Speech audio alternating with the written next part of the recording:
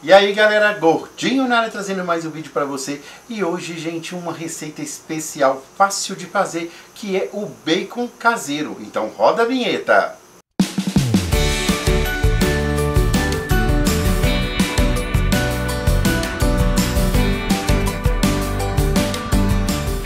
Pessoal, o bacon, gente, muita gente acha que ele tem origem nos Estados Unidos, mas não é é, na Alemanha, entendeu, gente? E na, é, no tempo medieval, eles é, falavam bacon como se fosse o porco por inteiro. Mas depois que eles é, praticaram né, para poder defumar e desidratar a carne e também o toucinho, então eles denominaram bacon a essa parte. Eles falavam back, mas é, traduzindo seriam bacon. Isso a partir do século, gente, 17, 18 é que eles começaram a comercializar o bacon. Receita fácil, não precisa de defumar, viu gente? E poucos ingredientes e vai ficar muito fácil.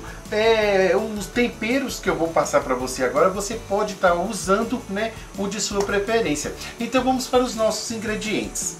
O Gordinho na Área, ele está no Instagram, isso mesmo, arroba Gordinho na Área Oficial. Vá lá e seja o nosso seguidor. Para a nossa receita, nós vamos precisar de duas colheres de sopa de sal de cozinha, uma colher de sopa de açúcar mascavo, uma colher de sopa de coloral, uma colher de sopa de páprica, quatro folhas de louro, uma colher de sopa rasa de pimenta do reino moída, uma colher de sopa rasa de sal de cura.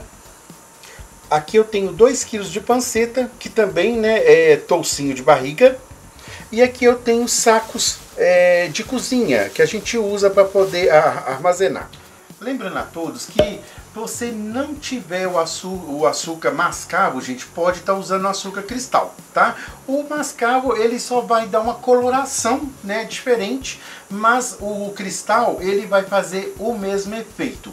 É, a páprica eu estou usando a defumada, mas você pode estar tá usando da sua preferência, ou se não quiser usar, mas vai dar um sabor diferente é, o sal de cura. Gente, esse sal de cura você encontra naquelas casas de tempero que você compra a granel, em mercados, naquelas lojas específicas, mas se você não tiver entendeu? Não precisa usar. Aqui vai dar uma acelerada no processo, ele vai ficar mais desidratado, mas se você não tiver, tudo bem, pode fazer sem ele.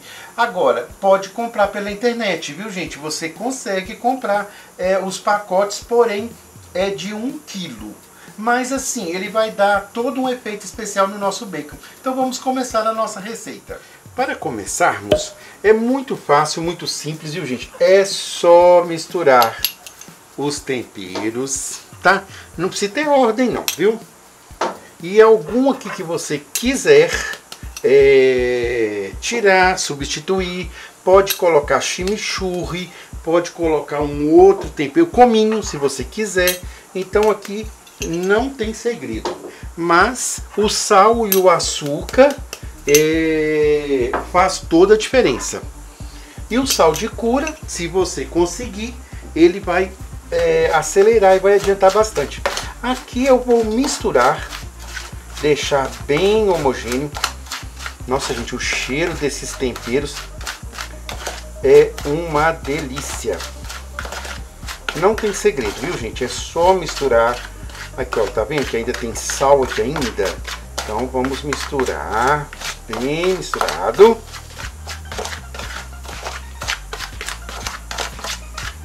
Tá bem misturadinho.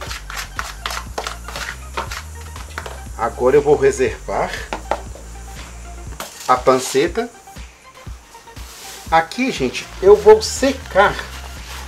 Olha. Não é lavar, viu, gente? É secar.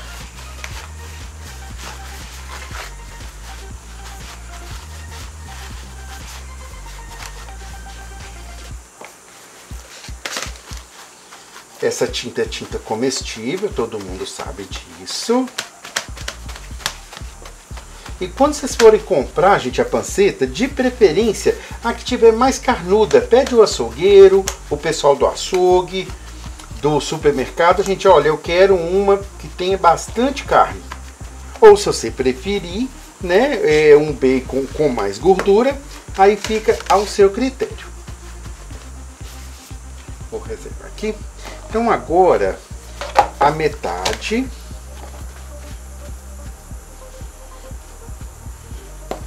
esfregar bem, esfregar, dar uma boa esfregada.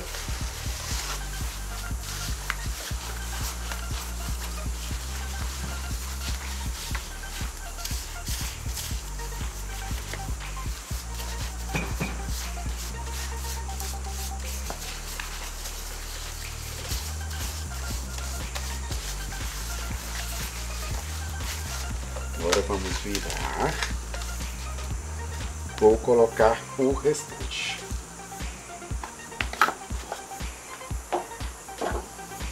E vamos esfregar também.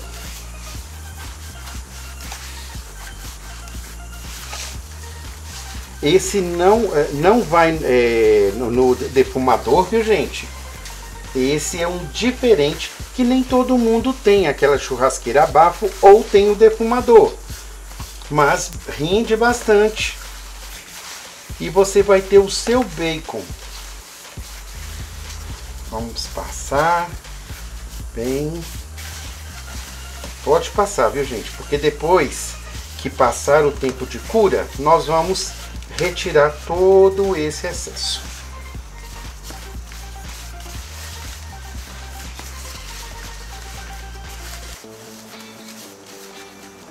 Feito isso, depois que nós já esfregamos bastante, é, é esse aqui aqueles sacos né, que nós usamos em cozinha para armazenar frutas, verduras e tudo mais.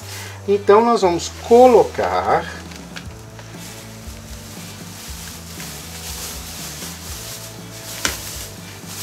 dentro dele.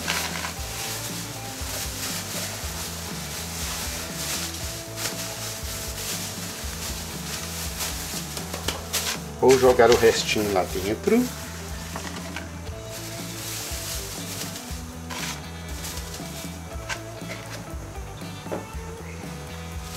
Aí nós vamos tirar o ar o máximo possível, viu gente? O máximo possível a gente tira o ar.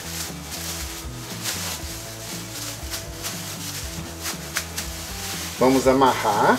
Se você quiser colocar um araminho também pode. Para ele não vazar, vou garantir e colocar dentro de outro saco de plástico.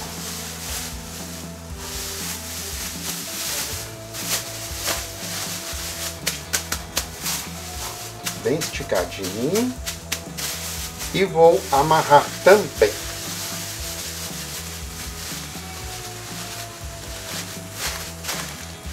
E agora, depois né, do nosso toucinho temperado e embalado, nós vamos levar à geladeira, viu gente? Na parte de baixo, você vai deixar ele quietinho lá por uma semana. Aí todo dia você vira. Para quê? Porque os temperos fiquem por igual. E ele também vai desidratando. Então hoje ele vai ficar assim. Quando for amanhã eu viro e vou virando até o último processo que vai ser a gente é, lavar e depois nós vamos desidratar no forno. Então depois de sete dias que ele curar, aí eu volto com você. E aí galera, Gordinho na área de volta com você. Depois de sete dias que o nosso bacon ficou maturando, gente, ele fica com uma cor e um cheiro.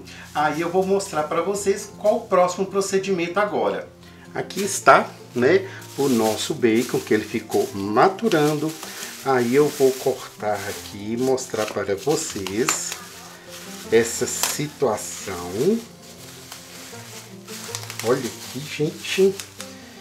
Ficou muito bonito, muito bonito mesmo. O cheiro. Olha como que ficou. Aí agora eu vou lavar tá, gente? Para tirar esse excesso de tempero e aí eu volto com você. pronto. Aqui eu lavei debaixo da torneira mesmo, viu gente? Na pia eu fui lavando, tirei todo o excesso e agora nós vamos levar ao forno. Vou dar uma dica para vocês. É, nós vamos pegar um tabuleiro, certo? E com a própria grade do forno, vocês vão colocar porque é, a gordura, para não sujar o seu forno, ele vai cair em cima do tabuleiro. Aí nós vamos colocar a pele para baixo, viu gente?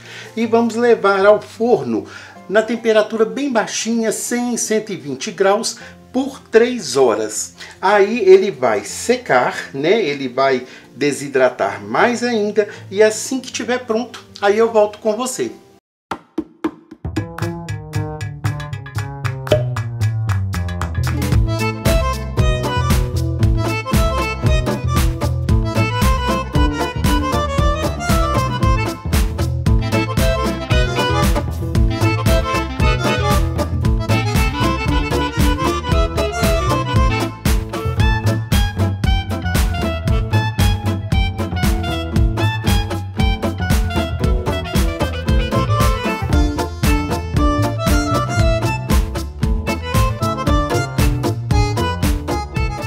Aí galera, Gordinho na área de volta com você Gente, depois de três horas que a nossa panceta, né, o nosso bacon ficou no forno Gente, ficou um cheiro na casa Olha como ficou o nosso bacon e assim, né, gente, no caso eu não vou ter como experimentar que eu teria que fritar ou fazer alguma coisa. Gente, olha isso como que ficou. Olha essa situação. Nossa, gente, ficou assim maravilhoso, muito simples e fácil de fazer, viu, gente?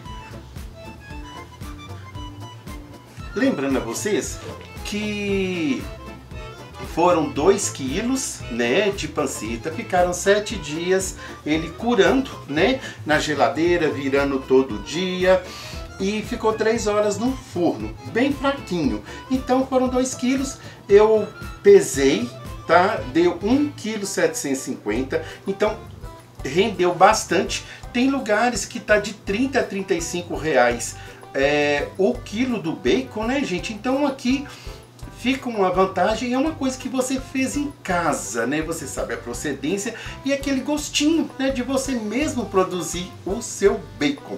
Pessoal, eu espero que você tenha gostado da nossa receita. Você que está chegando agora, seja bem-vindo, inscreva-se no nosso canal e ative o sininho que você será avisado toda vez que postarmos um vídeo novo. E o like, né, gente? Deixa o like, deixe ele azulzinho, isso é muito importante, ajuda bastante o nosso canal. Essa receita vai estar na descrição do vídeo com todos os ingredientes, com todos os pesos, medidas, tudo direitinho. Nos comentários, deixe o seu comentário, deixe a sua dúvida, o seu elogio que nós vamos responder com muito carinho. E agora, aquela hora de muita alegria, é hora do abraço do gordinho. Você que deixa o seu nome, cidade, estado, o gordinho manda um abraço com muito carinho para você. É Linda Silva Araújo, Olinda, Pernambuco. Um grande abraço para você e para toda Pernambuco. A Fátima Rodrigues, Sapucaia do Sul, Rio Grande do Sul. Um grande abraço para você e para todo o Rio Grande do Sul. A Maria Luísa, é, a Rosal Piraí, Rio de Janeiro também, um grande abraço para você e para todo o Rio de Janeiro. O Joemir Souza Montenegro, Rio Grande do Sul, um grande abraço para você e para todo o Rio Grande do Sul. Josemi Barbosa, Cubatão, São Paulo. Um grande abraço para você e para todo São Paulo. O Gordinho na área vai ficando por aqui. Um forte abraço, fiquem com Deus e tchau, tchau!